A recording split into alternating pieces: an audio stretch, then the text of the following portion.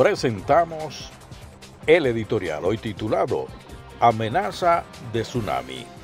Una de las quejas generalizadas a lo interno de la base del Partido Revolucionario Moderno es la falta de empleos para los compañeritos de a pie. Criticamos que los funcionarios popis nombran hasta los que no han nacido dentro de familias y queridas, al igual que gobiernos anteriores, pero el presidente no puede coger presión de los que alegan hicieron el trabajo para que el partido ganara.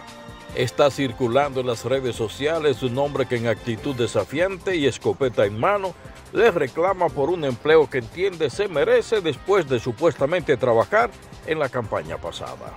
Después del atrevimiento tal vez la sangre no llegue al río, pero es un mensaje advertencia que Abinader debiera tomar en cuenta. Habrá que esperar a ver si el temblor de hoy producirá réplicas de alguna magnitud superior, porque como dicen que la masa no piensa, al presidente Abinader se le podría desatar un tsunami y eso no le conviene. Ojalá que no tengan que llegar a esos extremos. Hasta el próximo comentario.